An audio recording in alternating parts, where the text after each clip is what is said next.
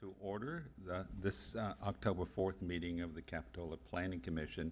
Uh, Before we actually begin, I want to announce that the meeting is being uh, cablecast live on Charter Communications, um, Cable TV Channel 8, and at and t U-verse Channel 99. It's being recorded and will be replayed uh, next Monday and Friday at 1 p.m. on Charter Channel 71 and Comcast Channel 25.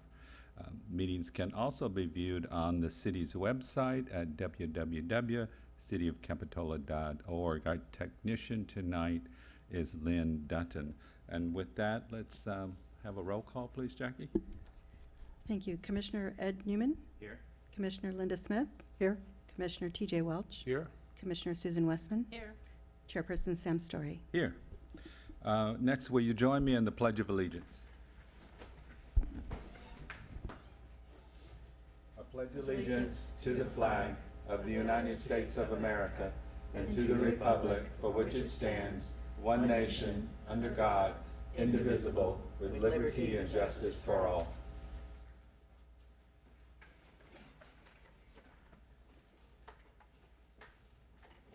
Next on the agenda is oral communications. We'll begin with any additions and deletions to the agenda. Does staff wish to? No changes. any, uh, Commissioners, any changes? Hearing none, next we'll move to public comment. This is opportunity for members of the public to address the commission on items that are not on tonight's agenda, agenda, excuse me. Um, Does anyone want to speak in public comment? Seeing none, um, next we'll come to commission comments. Commissioners? I don't have anything other than, uh, I did notice, uh, our last meeting and then, uh, last night, uh, AT&T U-verse was not showing the, our meetings or the candidates forum last night, so I'm not sure who looks into that, if we need to call I somebody. can speak with our IT. Let's Okay. see. Yeah. Well, thanks, TJ, for mentioning that. Any other commission comments? Uh, I just wanted to thank Jackie for having worked with us. She's going to be leaving us and moving to a new position within the city of Capitola. And I've appreciated what a great job she's done with the minutes, and um, it's not an easy thing to do. So, we'll miss you. Yeah, well, yes, thank you, Jackie, uh, but congratulations on your new position. Will this be your last meeting then, or? Uh, Possibly. Oh, okay. Hundred percent, yeah. Uh, Any other commission comments? Uh, Next, we'll move to staff comments. Okay, thank you. I have a few comments. Um, I also uh, wanted to extend my thanks to Jackie and uh, with her dedication to the Planning Commission and these meetings and what a great job she's done. So Jackie, and now moving into the Development Service Tech position, so she'll still be at City Hall and uh, we look forward to having her in that capacity. I also wanted to announce that today we launched a bike share survey and it's on the city website, so um, you can go to the city website and uh, take that survey. And I also sent out an email that I'd love for all of you to forward on to your closest friends and um, neighbors. Um, a quick update on 4960 Capitola Road. That project, we've been asking for updates. There's going to be a final inspection um, next week, and then following that, there'll be a report put together for the courts to review. Um, and then the other news is that at 210 Central, this is an application that was continued to our next Planning Commission meeting. They have um, let me know that the story poles will be installed on October 26th. Once I have confirmation that those are installed, I will send out an email and let you know as a reminder. But that's the Friday before the meeting, so hopefully they are installed for that weekend that you can go up and take a look. And what was that address again? 210 Central. Thank you. And that's all I have. Thank you. Thank you, Katie. Uh, The next is on our agenda is approval of the minutes. Um, Do commissioners um, wish to make any changes to the minutes of September sixth, 2018, or make a motion to approve? I would move approval as drafted. Is there a second? I'll second. The motion and a second. Uh, Hearing no further uh, discussion, I'll call for the vote. All in favor? Aye. Any opposed? Motion passes unanimously. Next, we'll move to the consent calendar. This is an, uh, there's only one item on the consent calendar tonight. It'll be uh, handled um, without extensive discussion um, on a, on a vote unless somebody wishes to pull it. Do Any members of the public wish to pull the consent item? Seeing none, commissioners? Everybody's good. Um, So is there a motion to approve the consent calendar? I'll make a motion to approve the consent calendar. Is there a second? I'll second. A motion and a second, and I just want to announce, I will recuse myself since this uh, um, project, this address is within my uh, conflict proximity. Uh, So with that, I'll call for the vote. All in favor? Aye. Any opposed? Um, So the motion passes as 4-0 with one recusal. Then we'll move to the public hearings for this evening. The first item is uh, 211 Monterey Avenue.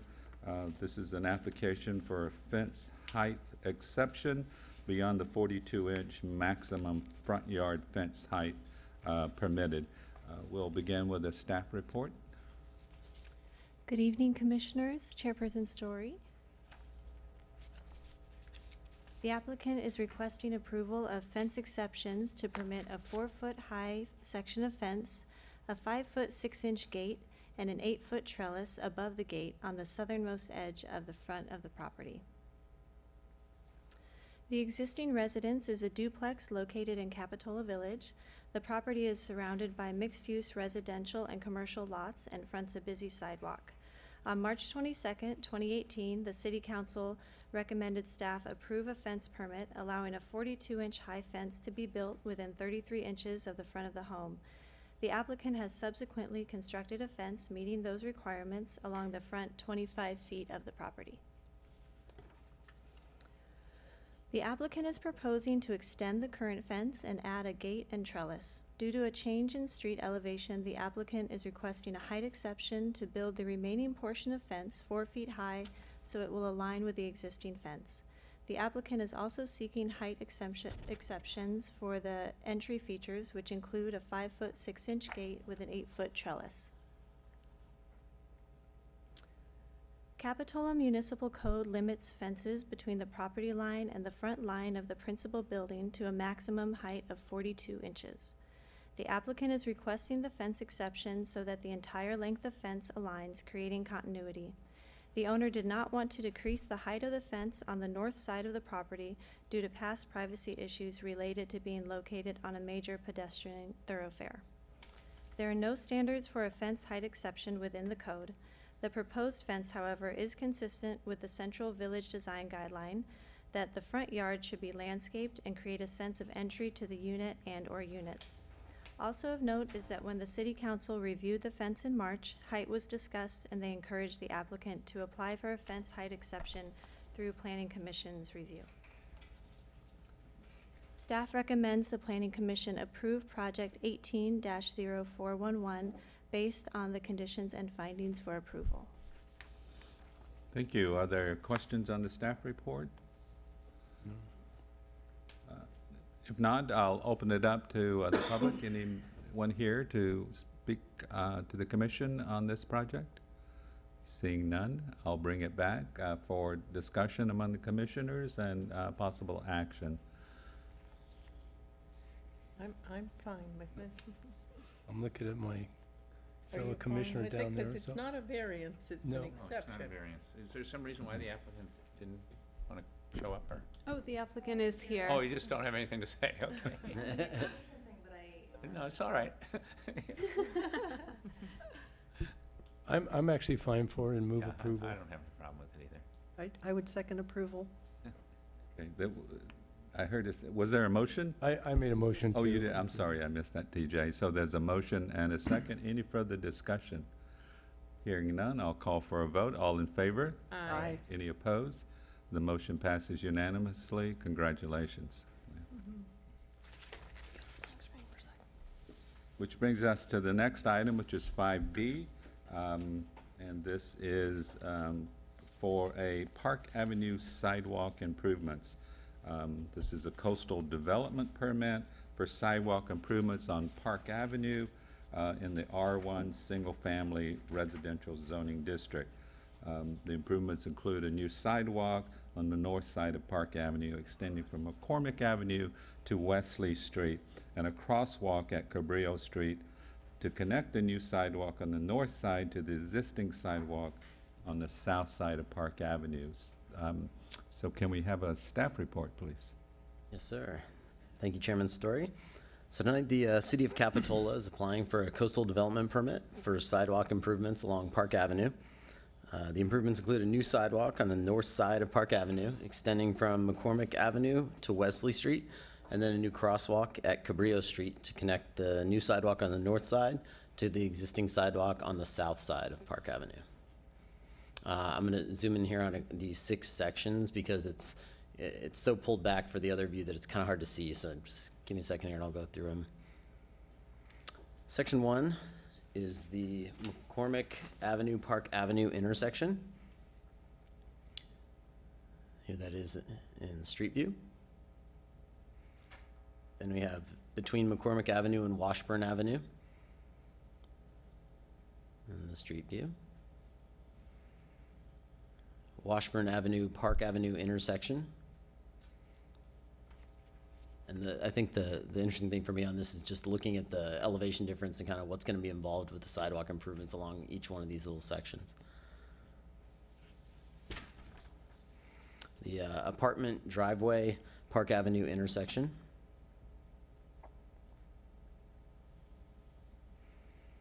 The Wesley Street, Park Avenue intersection. And then the Cabrillo Street, Park Avenue intersection. And this is the end where the, the crosswalk would be right here in the foreground, crossing over right there. Uh, this is an existing cross-section of Park Avenue showing the car lanes and bike lanes along Park Avenue, the adjacent area on the north side of Park Avenue with driveways, planting areas, and utilities, and the area on the south side of Park Avenue with planting and parking areas. And then this is the proposed cross-section of Park Avenue uh, with car lanes and bike lanes in the middle, uh, curb gutter, sidewalk, and driveways on the north side, uh, and the existing planting and parking areas on the south side on the right.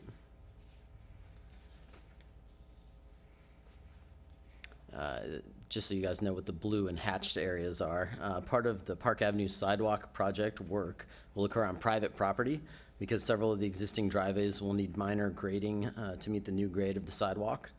These areas are indicated on the plans as the hatched and blue areas that you see here. And city staff is coordinating with uh, this work with the affected property owners.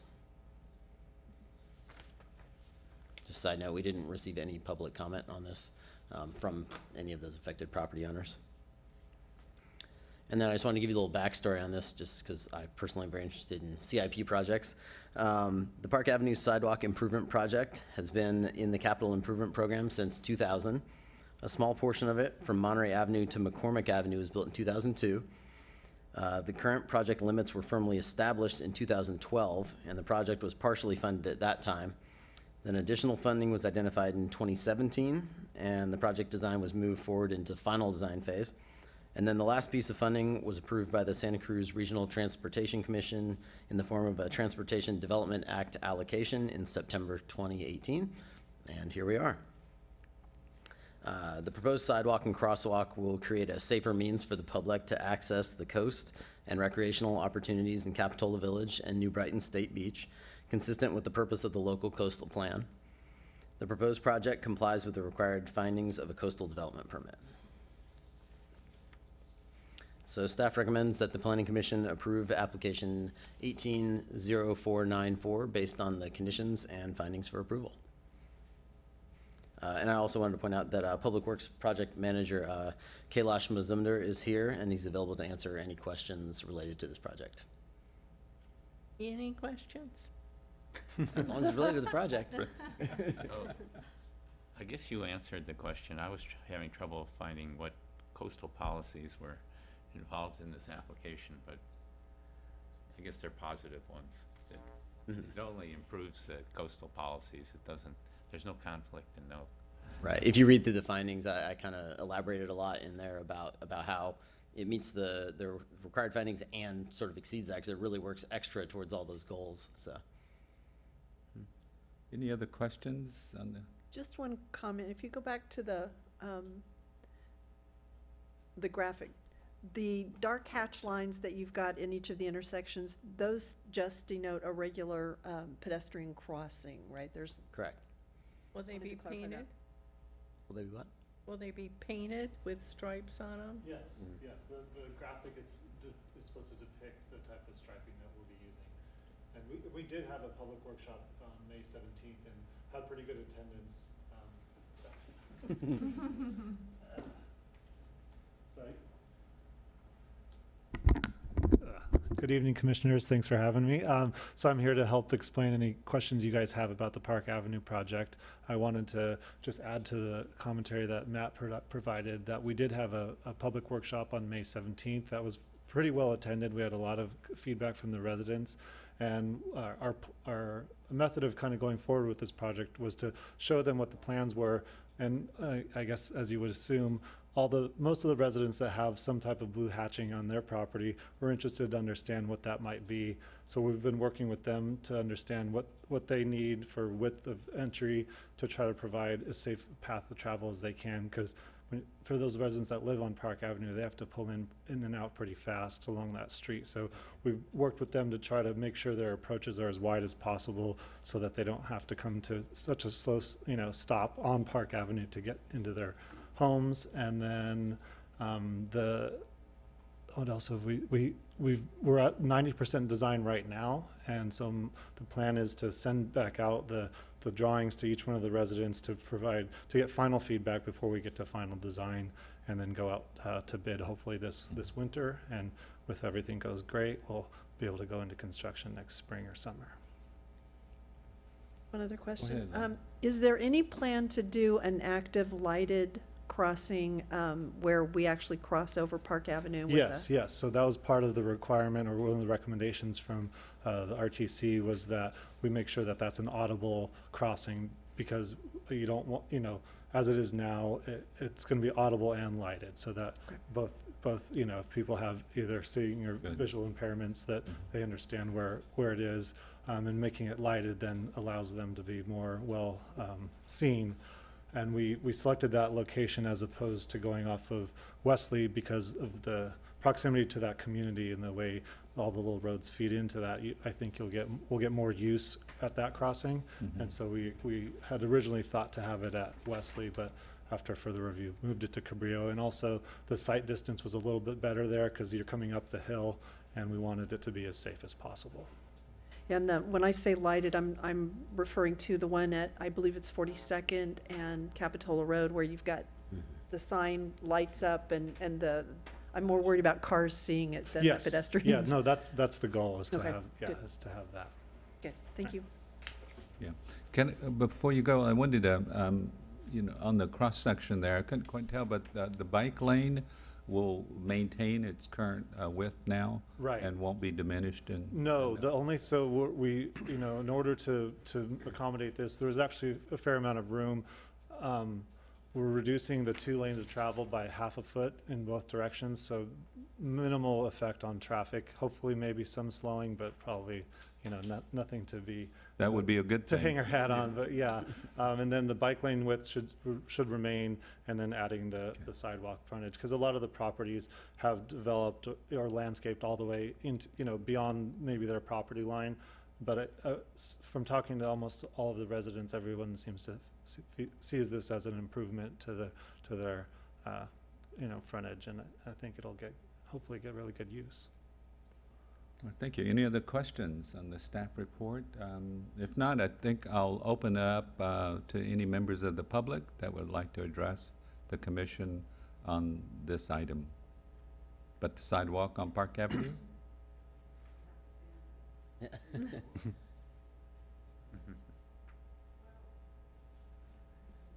Come on, Kay, you can come up to the podium. about our, our entryway at three oh eight and three ten. Yeah. Please, yeah, please come up to the microphone so that, yeah, everyone can hear you and, Okay. Uh, My name is Neil Johnson. I live at uh, 308 Park Avenue. Um, And I have talked with you before about our approach and my neighbor's approach, uh, Jeff and Colleen Stobie's uh, home. And it was gonna be a little bit more difficult because of, of the slope. And I just wonder what, uh, you came up with, or have, has anything, uh, Yeah, so the process is, so I, I just received. So you need to come back. up. Yes. okay. It's recorded, so we gotta get you. So to answer your question, uh, the process we're at now, we're at ninety percent design. So I just received that this last week. So my plan is to then send out the drawings to each resident of their, fr- their frontage to get any feedback, final feedback on that. Uh, make any site visits if we need to review what the plans are and then go out to, uh, have hundred percent design before we go out to bid. So, um, I should be mailing that out this next week. And then after that, um, I'm, you know, free to come by and take a look, closer look at how it affects your, your front of your property. Good. That's all I need. Okay. And then one other issue, so, um, right now, as we are, we're all approaching, our driveways are gravel, and we understand that they were gravel, um, because of coastal commission for percolation.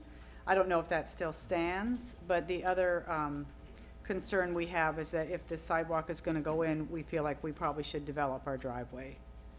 You know, I don't want a sidewalk to be there and then come down onto the gravel. So we were hoping that if the contractor was there and they were doing the cement work, that maybe there was, um, we could do business with them and work with them. Okay, maybe you could respond to that question? Thanks for your question. So I did look into that after our, our public meeting, and I did not find any information um, that, that confirmed that you need to maintain a gravel driveway. Um, It is our plan to let all the residents know that they can work with the contractor once they've been awarded the contract to extend the work if they want to do more work on their frontage. So uh, either paving their, their site, their uh, driveway, or a- if they want to use asphalt, you know, that'll be up to them to work out that, that independently with the contractor, though, that won't be done through the city. Right. But unless there's, you know, I- unless there's any other information on this, I, I believe that there's no need to maintain a gravel driveway. Right, would, and would the residents be able to just get an over-counter permit if they wanted to um, improve their uh, driveways? Right, we would, we would issue enc- the encroachment permit to do the work, but at, at no fee Right. to, yeah, Right. Right. Okay, okay. that's the plan.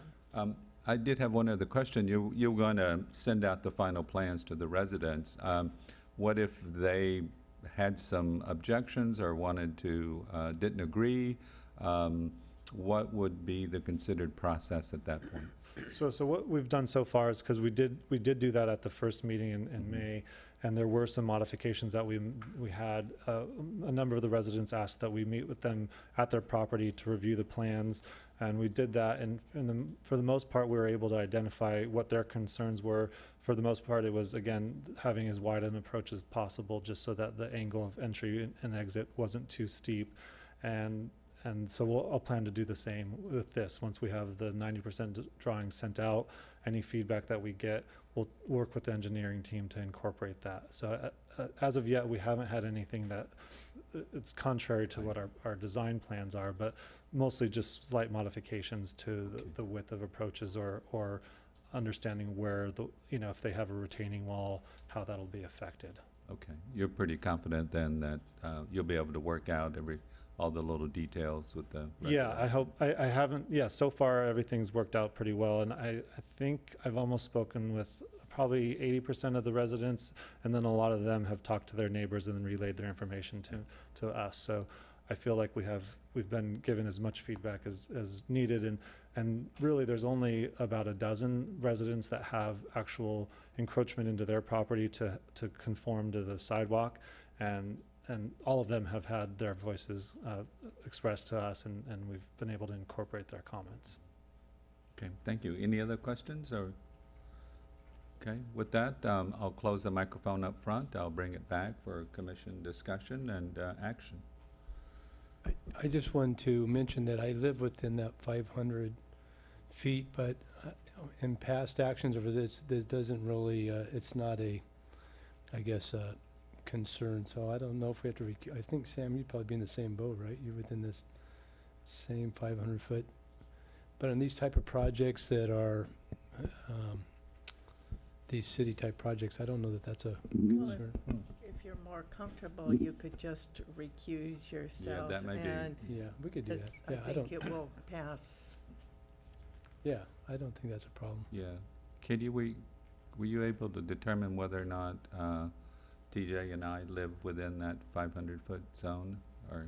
From Park Avenue. Um, Yeah. I'm, I know I do, I mean, I Yeah, got my he's- map, so. TJ's clearly. Right. I think we have, I think we have Sam. Shoot. Okay, can I? Yeah, you can, it? yeah.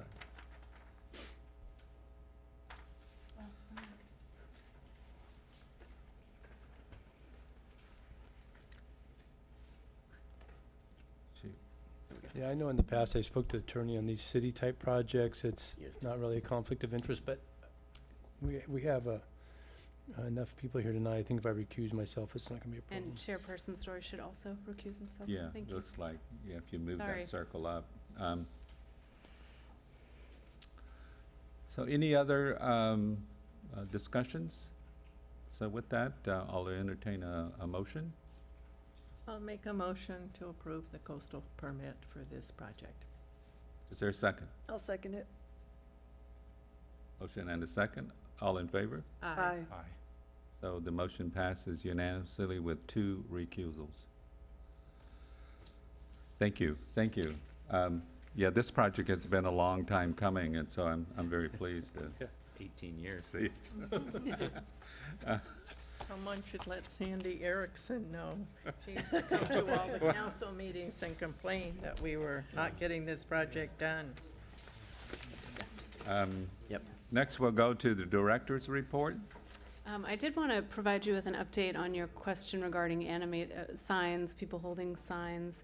Uh, I've been working with the attorney's office and we're not quite there with the, with the answer for you. We're looking at, um, animated signs, possibly, uh, looking at the definition of animated signs. They're moving signs and whether or not we can hold, um, we can regulate the people holding signs under the animated sign standards. So, we continue to look at it. We've been uh, emailing back and forth, but I, I don't feel 100% confident in the answer yet. So I'll be at the next planning commission updating you again on whether or not Great. we can utilize that standard and whether or not we did utilize that standard. Because if, if we can utilize it, we'll be planning on sending out letters. So, thank you. Thank you. Uh, Commission communications? Well, I assume there's nothing new on Sears or Orchard Supply? No, um, s- for, no updates on Orchard Supply, and Sears project has not changed at this point. Um, they, in recent conversations with them, we, um, they let me know that they're still working on their stormwater and also on the environmental cleanup. So it, we're two weeks away, well, three weeks away from the appeal. So we'll see if we have any very last minute submittals, but other than that, no modification. Thank you. Anything else? With that, I'll adjourn this meeting. Thank you, everyone. Thank you. When's the next meeting, Kate? November first. November first. November the first. Maybe we ought to have a park